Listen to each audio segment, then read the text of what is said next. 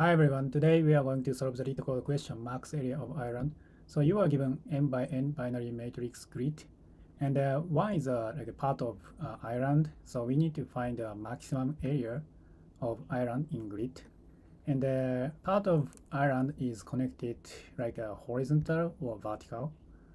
In this case, uh, we should return 6 because this island is a largest island. So 1, 2, 3, 4, 5, 6.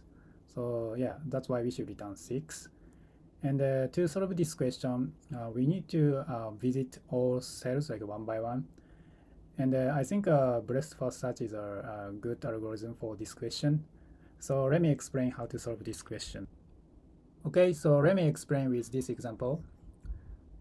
So let's say we are now uh, standing at this cell and to solve this question with breadth first search, we need to uh, check four direction like uh, up, right, and down, and left.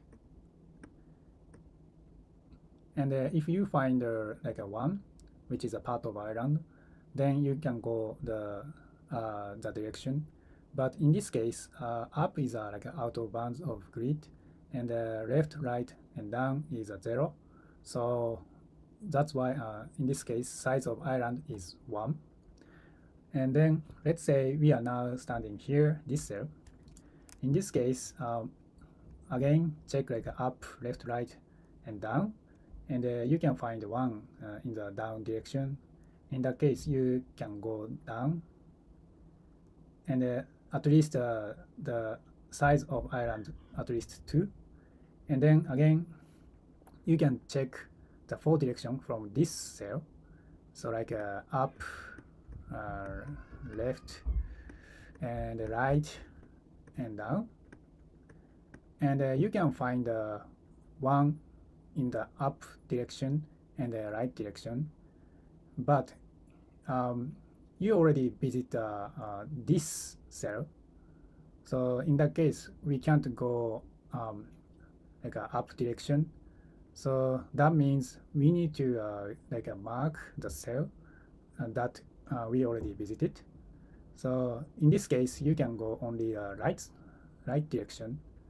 And then again, you can check four direction like up, left, right, down. And then you can find uh, one in the like left direction and the right direction.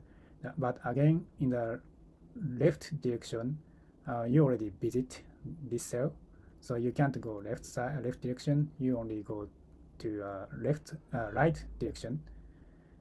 And then now we are standing here, and uh, again uh, take the four direction like up, right, down, left, and uh, these three directions are zero, and uh, you can find the one in the left direction, but you already visit this cell. So in that case, you can't um, go in the like left direction so that's why uh, this island is uh, 4 size of island is 4 yeah um, that's how you can uh, find uh, like a size of island.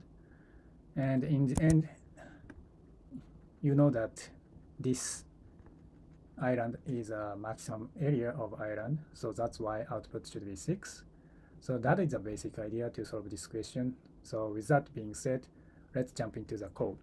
Okay, so let's write the code. First of all, get the length of grid row and uh, get the length of uh, grid columns because uh, we use a lot. So rows and columns e equal length of grid and length of grid 0. And then next, um, visit it, initialize with empty set and uh, max island. This is a return value initialized with 0. And first of all, um, I create a, a nested loop to, set, uh, to visit all cells. So for row in range and rows, and for column in range and the columns. And then if current cell equal 1 and uh, current cell not in visited so which means a new place so max island equal max max island versus breadth first search, uh, passing the current row and column. After that, just return max island. So let's create a breadth first search. So def breadth first search and the row and the column. And first of all, we need to check current cell is a part of island that is not visited. So if current row not in range um, rows, so we check the like out of bounds in your row direction and also we have to check uh, column direction so or column not in range equals or current grid in visited already visited or current row and the column equal water. In the case just return 0 and then next so we mark current cell as a visited cell. So visited add current row and column combination. After that return add plus 1 to size of island.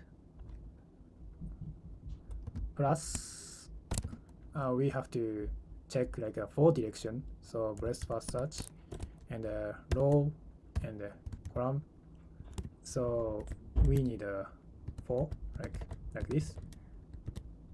And then uh, we have to uh, check the in the different direction. So let's say like a plus one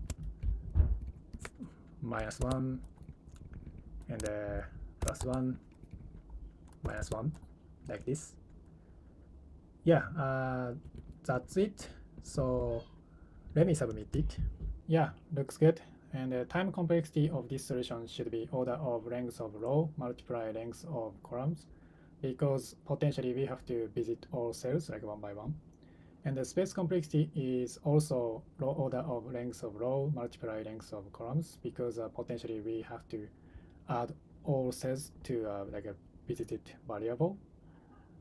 So actually there is a slight uh, improvement of this code. So let me uh, modify the code. Okay actually we don't have to use this uh, set uh, visit visited variable so in that case we update the grid itself. So how can we uh, update uh, this grid? So in that case um, grid if we visit some cell so update the grid itself with let's say minus one. So in that case we have to modify the code here. So if like a grid r c equal minus one and uh, also we don't have to write this part yeah, actually, uh, that's it. So let me submit it. Yeah, this program also works, but uh, I'm not sure uh, we can modify the original input array. So you can ask the interviewer about that. So let me summarize step-by-step -step algorithm. This is a step-by-step -step algorithm of max area of island. Step 1, initialize length of grid row, length of grid columns visited, and the max island variables. Step 2, start looping and visit all cells. If current cell is a part of island, compare the size of island. Step 3, in breadth first search, number 1, check current cell is a part of island that is not visited. Number 2, mark current cell as a visited cells.